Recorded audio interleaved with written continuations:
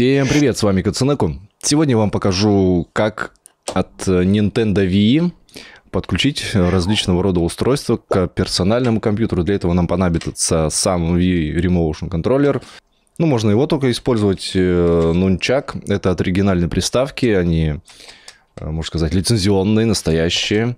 Bluetooth адаптер, да, мы подключать будем по Bluetooth. Это обычно китайский за 150 рублей на Алиэкспрессе Bluetooth донгл. Также у меня имеется New 2 в одном, ну, с нунчаком. Э, китайского производства, тоже на Алиэкспресс заказывал. И классический контроллер. Но это все не важно, это дополнительные устройства.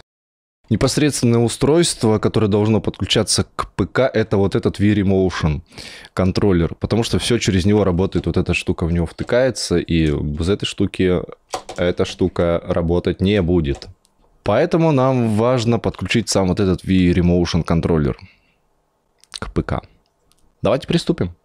Для того, чтобы синхронизировать V-Remotion контроллер с эм, персональным компьютером, нам нужно снять чехол, э, открыть крышку, где батарейки. Тут красная кнопка, нажать кнопку синхронизации. Но это все муторно, все это я не хочу делать.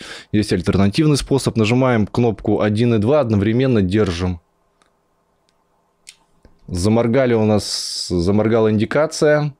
Теперь переходим на компьютер. Перед тем, как мы начнем, сначала нужно нам зайти в настройки и включить Bluetooth. Кстати, обращу ваше внимание, что Windows 10 я использую.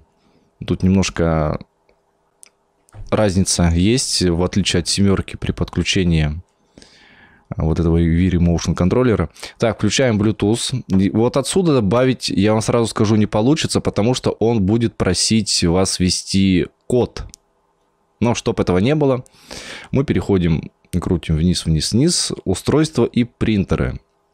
Вот, нажимаем. Здесь идет у нас поиск. Все, Nintendo RVL, точнее RVL-CNT 01. У нас устройство найдено, нажимаем далее.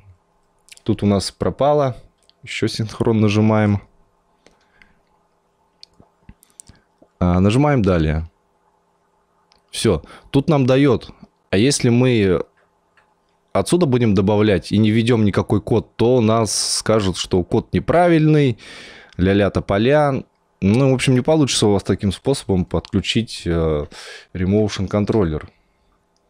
Подождите, пока необходимый файл установится в системе. Это может занять несколько минут.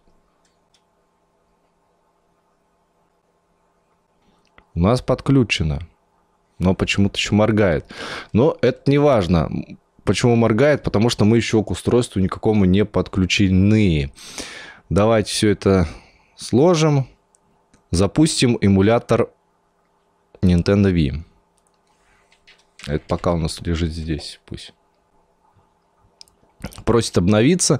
Вот моя версия, вот тут какая хочет, напомнить позже. Давайте я вам покажу а, сначала нужно настроить управление. Переходим в управление. Здесь симулировать Bluetooth адаптер. Нажимаем настоящий vMotion контроллер. Нажимаем так, э, включить данные динамики. Потом подключить для эмулируемых э, непрерывное сканирование. Но это, в принципе... Слышали? Зажужжал. Одна лампочка, это контроллер определился как первый. Можно непрерывное сканирование поставить, вам не нужно эту кнопочку нажимать «Обновить», он будет э, сразу обновляться и подключиться. Так, можно сразу подключить нунчак. Подключаем нунчак. Теперь все это дело выглядит таким вот э, способом. Будем играть. Ну что, давайте проверим подключенное наше устройство, наш V-Remove и Nunchuck на игре Donkey Kong Country. Returns, во. А и Б нажмите. Нажимая, слышите, какой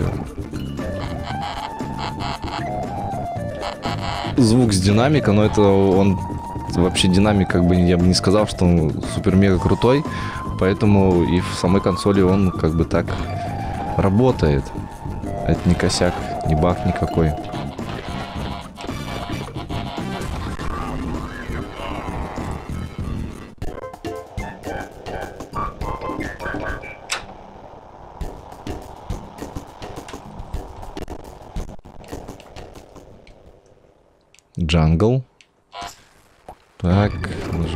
Вибрация. Все, все работает. Вибрация есть. Так, сейчас я тут ускорю. На тап нажму. Чтобы загрузка прошла быстрее. Давай. Вот, конг. А чё? Сейчас нужно потрясти. Все, выломали дверь. Выкинули какую-то маску. Вот. Жужи, жужу было. Вот так он, короче, лупит. Дует. Ну вот, все. Влево-вправо. Прыгает. Все работает. Все можете играть прям о, даже звук есть с этого. Что-то тормозит так жутко.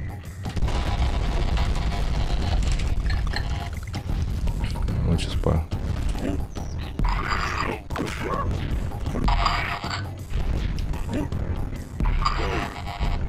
Ну, как-то так. Касательно китайского New 2 в одном, Э, проделываем все то же самое, зажимаем две кнопки, 1 и 2, выводим в режим э, определения, заходим на компьютер, переходим на компьютер, добавляем устройство, вот мы его видим, также мы его подключаем, нажимаем далее. Тут ничего не пишем, нажимаем далее. Ну, все то же самое проделаем, что мы проделывали с э, контроллером оригинальным, заходим в управление, можем подключить как второй, настоящий, обновить. Все, он у нас зажужжал. Видим, загорелась э, вторая лампочка, второй светодиод. Вот теперь у нас два контроллера работают э, на нашем ПК, первый и второй. Также подключаем нунчак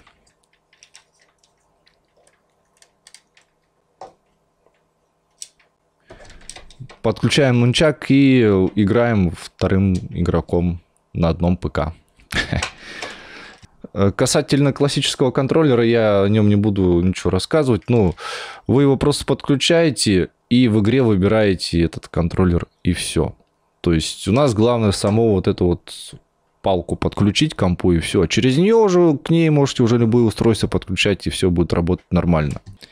Небольшая поправочка, если вы часто будете использовать э, контроллер с, на ПК с эмулятором, то желательно вот это при непрерывное сканирование галочку поставить, потому что при включении и отключении Bluetooth постоянно долбить эту кнопку обновить э, ну, неудобно, в общем. Включается также кнопка включения, либо нажатие какой-нибудь либо кнопки, он автоматом определяется. Давайте я вам покажу. Отключаем Bluetooth, вырубился у нас контроллер. Лампочка, видите, не горит. Включаем Bluetooth и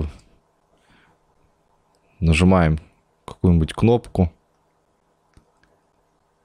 Идет непрерывное сканирование. Можно даже включить отключить. Все, он зажужжал, определился. Ну, это такой лайфхак. Теперь давайте перейдем к самой сенсор-бару с светодиодной панели. Это подставка.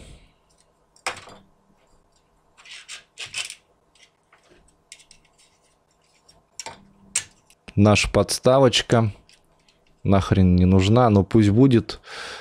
Э, я специально купил USB-шный.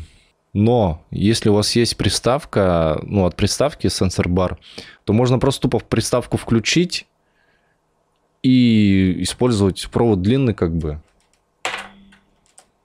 рядышком поставить и использовать, короче, с ПК. Давайте я подключу. Эта штука никак не определяется системой, она просто берет питание через USB. И все. Видите, загорелись светодиоды инфракрасные, их видно только через камеру, ну, либо можно телефон сотовый включить и через эм, камеру посмотреть. Так визуально глазу не видно. Это светодиод инфракрасный, потому что... Вот, э, позиционирование отслеживается нашего V-ремоута. Вот этой айбалы. Что делаем дальше мы? Дальше мы запускаем игру, идем на компьютер. Sin and Punishment. Там нужно будет управлять а, можно запер использовать. Кстати, у меня такая штука есть. Управлять издалека. Ну, как издалека? Надо на расстояние. Желательно бы. Тут сильно близко получается. Сейчас проверим. Так, все работает. Смотрите еще раз. Continue. Так, двигайтесь с этим, э, нажмите B для стрельбы, продолжение А. Так. Вот смотрите, я чуть дальше отвожу, когда я вот на это, ну вот видите, я вожу, да? И стрелять можно.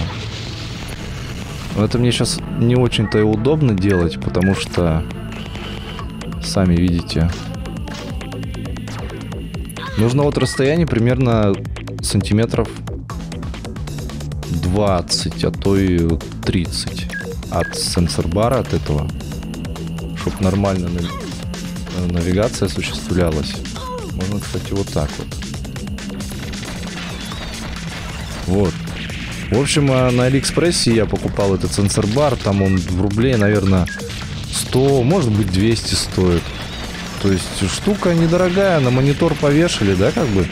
От монитора чуть на креслице откатились подальше. И играйте себе в Nintendo Wii игрушки на эмуляторе. Э, с, ну, конечно, графика на эмуляторе получше, тут всякие улучшалки действуют, чем на самой приставке. Но оригинальным контроллером, оригинальным управлением, что заключается вообще, является самой фишкой Nintendo Wii, вот это вот э, управление с V-ремоутом и всякими разными аксессуарами можно использовать. В общем, на этом-то все у меня. С вами был Кацунеко. Оценивайте видео, если вам понравилось. Э, подписывайтесь на канал. Пишите комментарии, если вам что-то непонятно было. Ну и, соответственно, не забывайте про мою группу ВКонтакте. Всех жду, добро пожаловать тоже на нее подписывайтесь. Буду очень рад вас там видеть. Ну, на этом все.